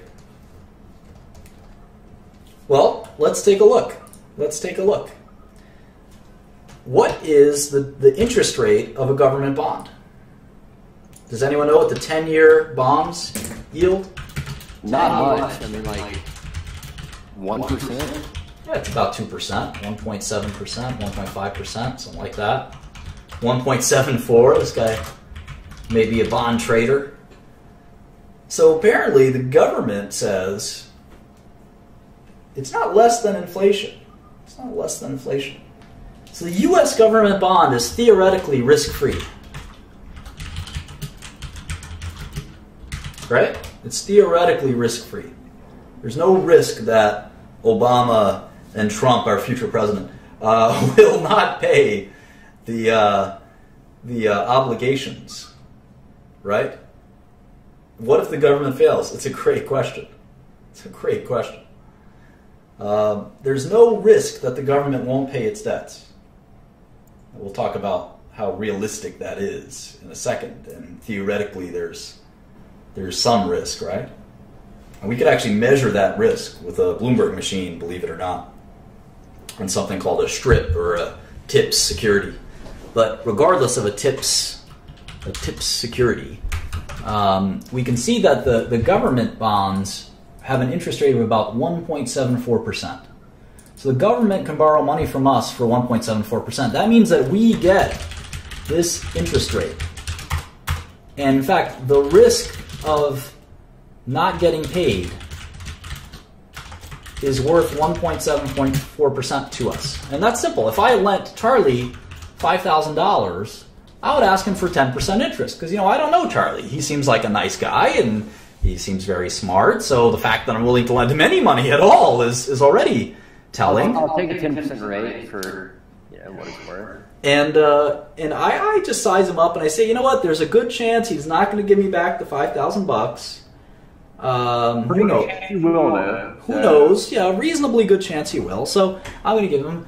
I'm going to give him uh, a 10% interest rate. Now, if a friend of mine named Maurice, who has a uh, arrest record and uh, he's known to traffic uh, narcotics in my community, Maurice wanted to uh, borrow $5,000 from me. I don't know. What interest rate should I charge him? I think Maurice is more likely, more likely to default more likely to default? I'd be taking like quarterly payments of half and. Yeah, I, I think I'm gonna you know charge him a higher interest rate because I just don't think Maurice is gonna pay me. In fact, there's probably no interest rate that I would I would I would take. It's not a black or white thing. There's Alba- you know let's make give him an Albanian name. Uh, uh, what's a good Albanian name? Let's just make him an American, Bob. Bob. Yeah, Bob the crackhead. Bob the crackhead. Mark it up five thousand percent. So, so it's a very difficult loan, and, and I'm worried about that. But the government, how about Apple? How about Apple? I can blend the company's money. It doesn't have to They're be people. going for cheap. Here's another good one. Brazil. This guy's making a good point. Brazil is six percent interest rate right now. The U.S. government is two percent. So we can see what the least risky, the least risky securities are. We can make a list. In fact, U.S. one point seven four percent. Brazil six percent. Apple, I think, is borrowing money at two percent. I can look that up with uh, Bloomberg, uh, which I'll log into in a minute. Ah, the Bloomberg log. Charlie, my loan to Charlie is 10%. My loan to Bob is 50%.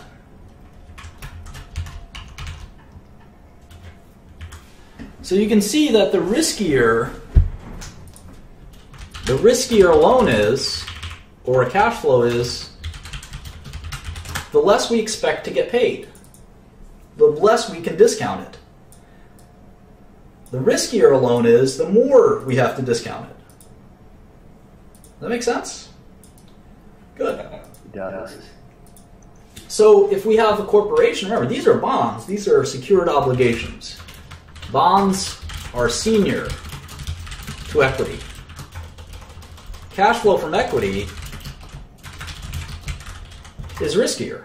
So when Apple makes $18 million this year, this is Apple's income statement, we don't know what they're going to make in 2017. It could be 10% more, it could be 10% less.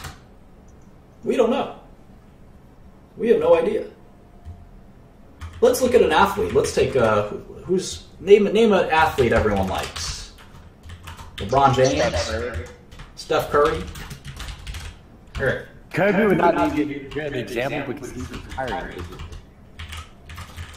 So what is the value of Steph Curry's contract? He's going to make. Let's say he's going to make 10 million a year for five years. I don't even know what team he plays for. Golden State Warriors, I think. Yeah. So let's say he's going to make 10 million a year for five years. What's the value of his contract? It's fifty million dollars on paper. On paper, it's you're going to get 50 million in payments, but what about present value? Well, it's a guaranteed contract from a major company, so it's probably not very risky.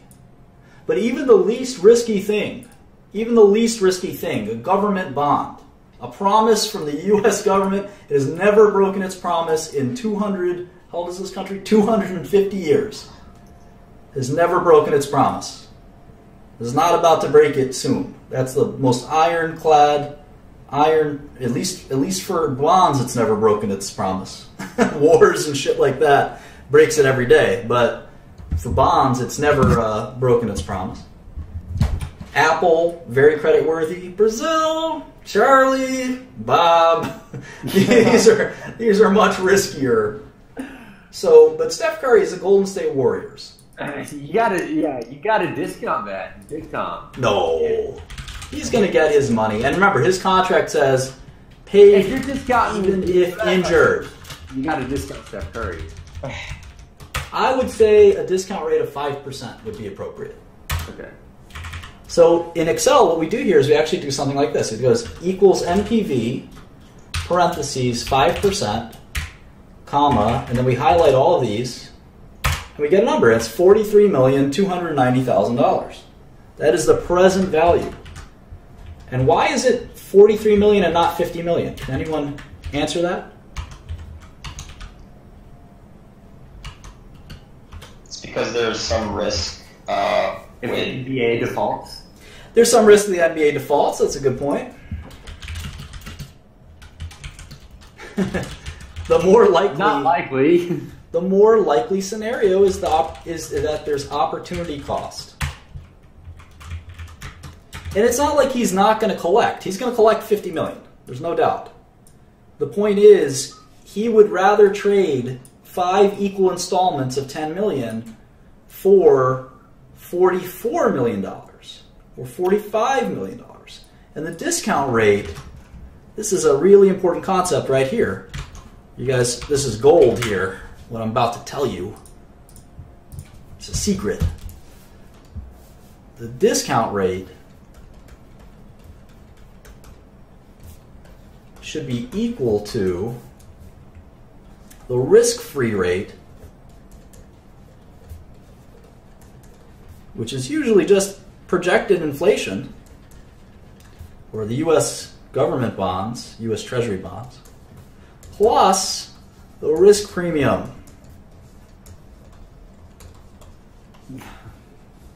So what is that what does this mean? Well, all securities have the same inflation risk. Right? Bob and Charlie don't have any different inflation risk than the US's inflation risk. Brazil has its own inflation risks, right?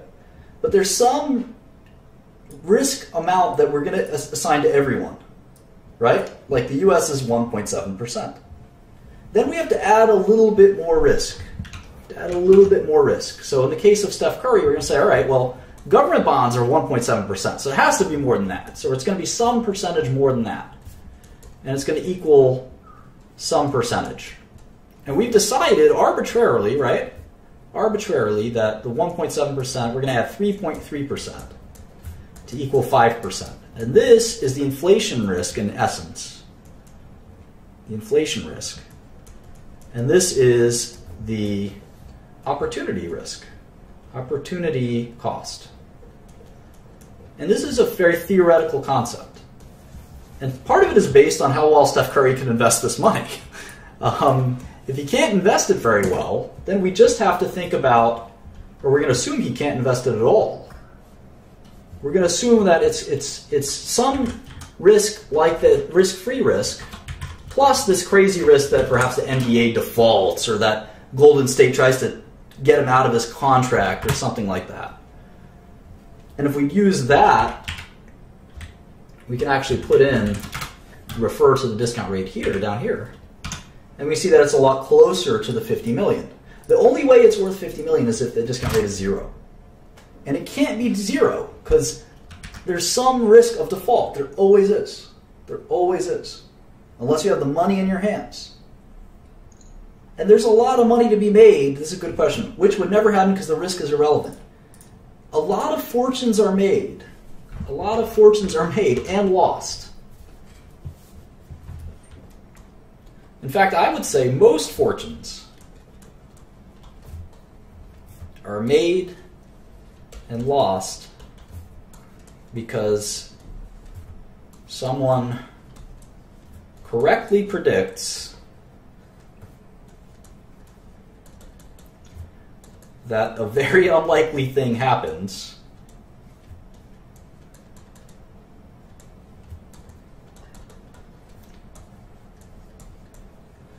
or doesn't happen.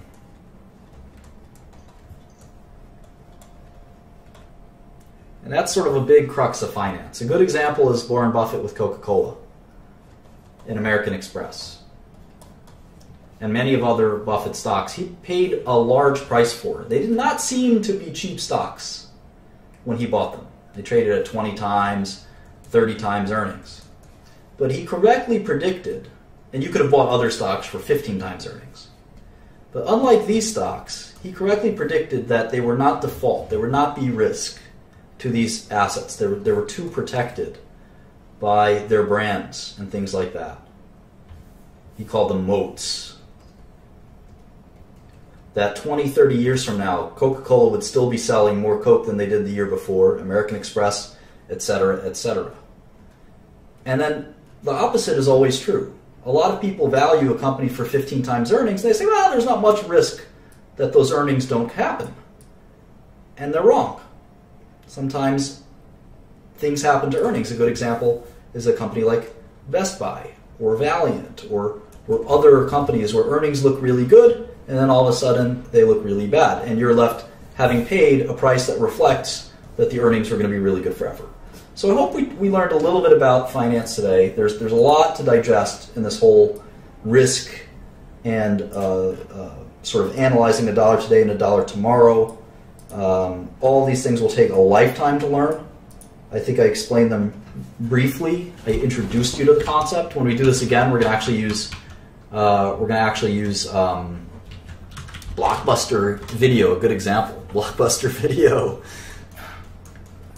Even Netflix, who knows? Is Netflix tomorrow's Blockbuster? Doesn't seem like it today. Back then, you would have never thought Blockbuster would have gone bankrupt. Uh, all of these things come and go, and, and the, the price we pay for things is, is very important because it implies a discount rate. And we'll learn all about these things. Uh, we'll, next, next lesson, we might do it in terms of formulas. This is the present value of an annuity is, is happens in this formula. We can also do something like this. Or there's different formulas we can use. And eventually we're going to work our way up to something called a discounted cash flow or a discounted dividend model, which we basically did with Steph Curry's. Steph Curry, it's a more, more technical version of Steph Curry's uh, present value that we calculate. And remember, in Excel, you could just do equals, NPV, uh, discount rate, and then cash flow series. That's how you do it in Microsoft Excel. I don't know how to do it in any other application like Google or whatever.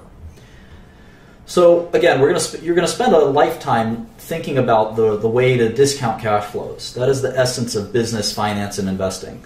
Um, I can't teach it to you in one lesson because it, it's going to be a lifetime of experience and learning. And that's what, in essence, all of investing is all about: is what is the risk to your cash flow. Uh, but we can go back to public companies like Apple and do some more forecasting and see kind of what likely is going to happen to investments in, in public companies and private. We do some private stuff too? And we can try to discount um, and use examples and things like that. So I hope this is valuable for everyone. If anyone has any questions, I'll open it up for the next sort of five or ten minutes, and then we'll try to close by ten, and then I'll stick around and do some stuff after ten as well. But the stream will end at ten sharp. So anyone can join in. I'm going to get a soda, so the mods can. That, that was a great, uh, really good, like uh, I guess, fundamental explanation of cash flow. So I appreciate it. Good stuff. Yeah, thanks Sure. a lot, This is very informative. Feel free to dial in some people so we can get some questions while I go get my soda.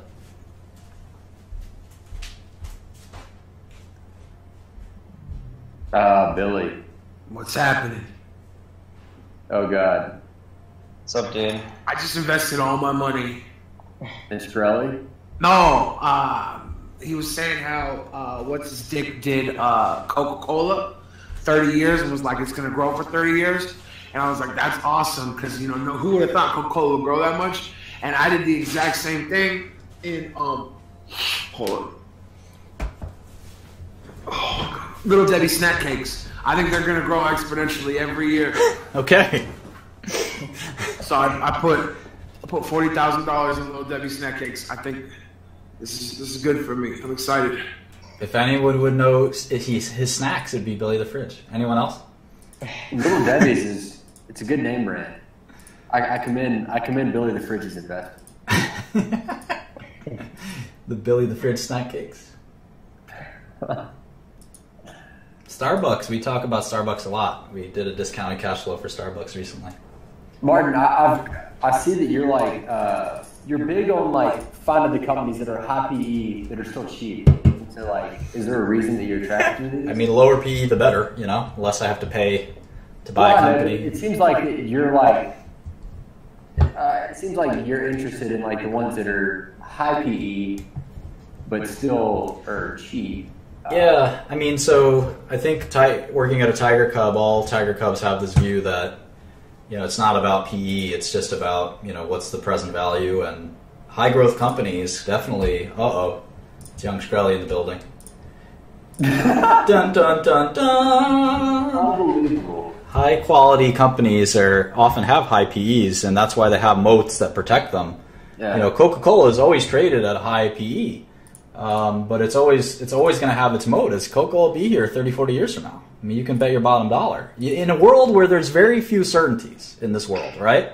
We don't know what the biggest computer maker is going to be in 20 years. We don't know what the biggest social network is going to be in five years. But, But we know, be great at Coke. but we know Coke's going to be here. We know American Express is going to be here, most likely. We'll see. PayPal's coming around the corner. And we know there are some things that we can rely on as brands, right? Toothpaste. There's no Yeah. technology that's going to change toothpaste in the next 20, 30 years. So we can uh, we can value. It doesn't mean you always buy Coca-Cola or Procter and Gamble. It means that if there's a discount to those stocks because of some crazy thing that's happening in the world, you can take advantage of that discount. So IBM is a good example. IBM is trading at like eight times earnings, and Buffett loves it. I don't know anything about tech, but if there was a three percent, you know, uh, uh, discount rate that went to an eight percent discount rate for Procter and Gamble, I'd buy Procter and Gamble. And all of these things are pretty complicated. We'll, we'll get into more and more and more. Reese, Yo, uh, so I pretty much understood everything except for uh, at the very end, I was a little uh, confused. So is the discount rate uh, like the the number that shows like an asset's value after you calculate the risk involved, or discount rate is how much you discount one year's cash flow from one year to the next. It's uh, like I said, discounts should. Actually, the present value of a future cash flow. Yeah. Yeah, bitch. discount. Is that Young Shkreli? Yes, of course. In the flesh. Hilarious.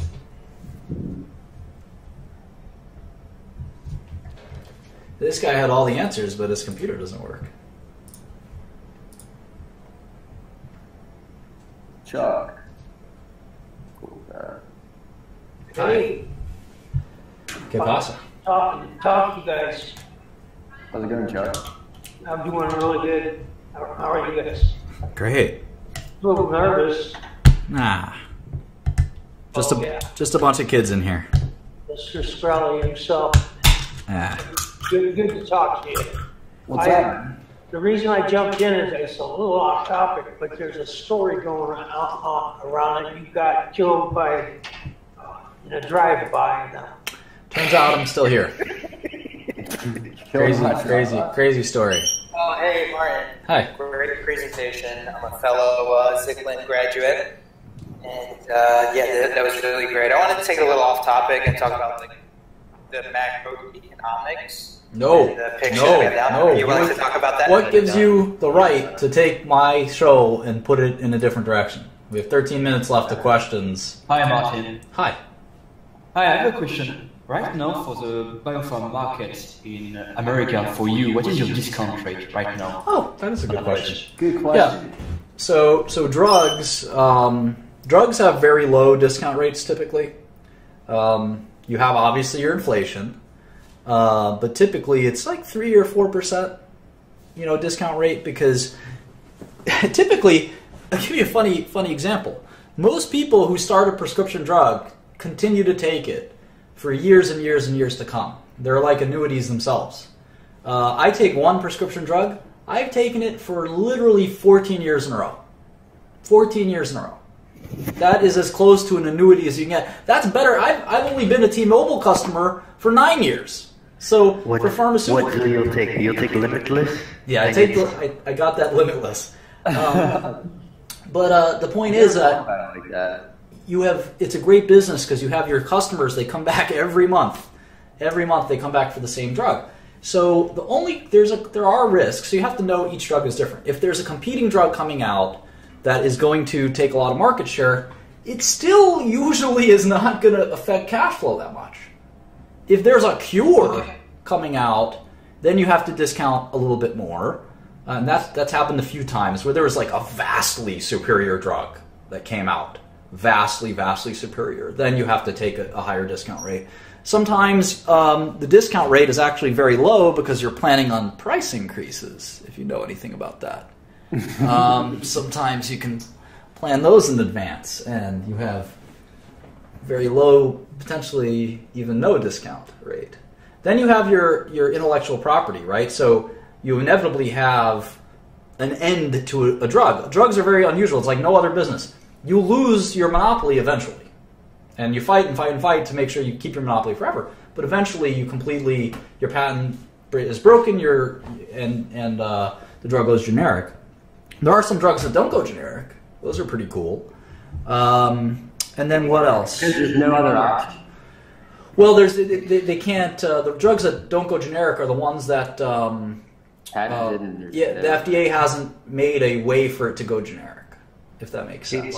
When, when a company, So when, when a company's uh, brand, uh, since they're once they go off patent and they go generic, isn't the whole idea for them to um, ideally make a subsidiary to to kind of be the top dog of that generic, right? Because you know, Yeah, yeah. become Yeah, you definitely want to hold as much of the market share after the generics as possible. But typically, a lot of the big companies just give up and uh, just let let the generic market do what it does. Um, yeah, it's usually like a three, four, five percent discount rate, Quentin. So it's pretty low. Uh, once you have a drug FDA approved, it's you just sit there and let the let the cash pile up, basically, um, until your patent expires, at least. Young Charlie, I see a pen in your hand. Are you taking notes as you as you talk to Martin? He doesn't need to take notes. Nah, dog. Who is this guy? He's the boss. Hello. Um, so this might be uh, for your next um, your next uh, class, but uh, I have a question about uh, like dividends and pricing of stock. Is that a fair question, or would you prefer that? I mean, I, obviously, time? we didn't cover any of that material in this session. It sounds like you know a lot. You know a lot about finance. Are you a finance student or? I'm an econ major. Yeah, I mean, you knew a lot of the. I saw you typing a lot of the comments. You were spot on. Um, we will talk about dividends and kind of theoretically, if a company doesn't pay any dividends ever, is it worth anything? That's something that is a pretty good theoretical question. A lot of the books would say no. Uh, clearly, real life suggests otherwise. Yeah. Um, you know, and so we got to think about that. Um, you know, dividends versus retaining cash versus buybacks.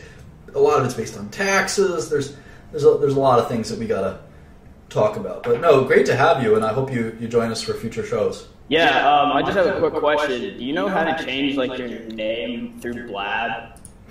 Do I look like Blab Technical Support? You motherfucker, you need books? Here's one good book for you, motherfucker. Um, I want to first thank you. I think it's really generous of you. Can you not hear me? It's just very noisy. Okay. Things like current events. Too noisy, dude. Drive everyone crazy. Oh, quite, again? No.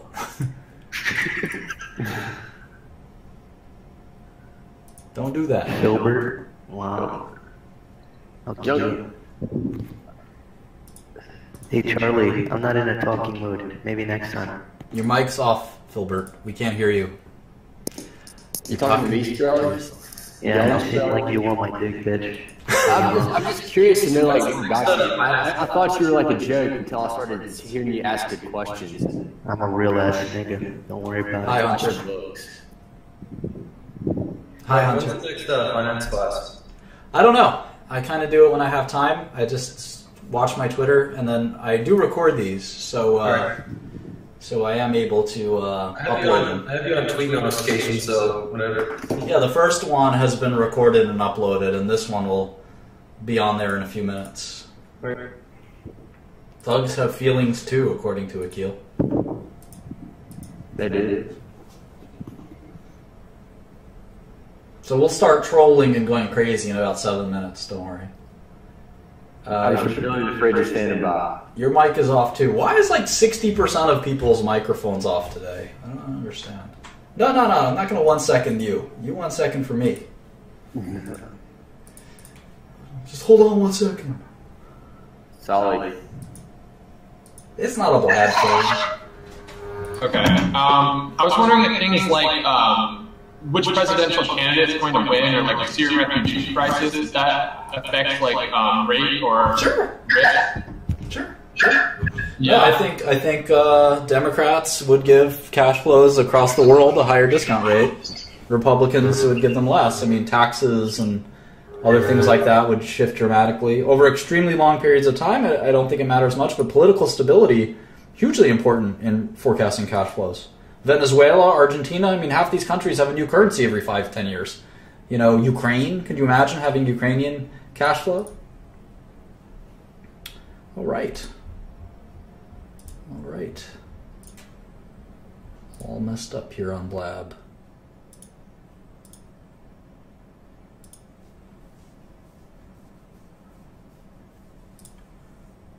Block that one.